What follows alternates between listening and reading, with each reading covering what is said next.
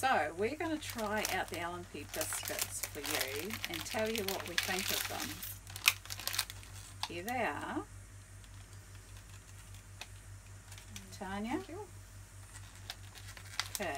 You going to dunk one? No, I'm gonna eat it first. Okay.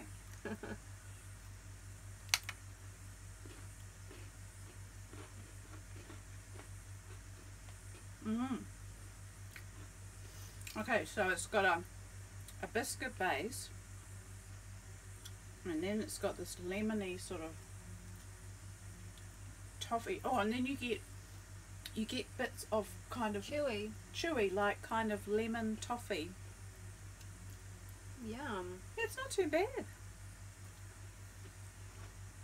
It remin- reminds me of those lemony biscuits that you, you know, buy with the cream in the middle, Hmm. covered in chocolate. So yes, Griffins, we approve.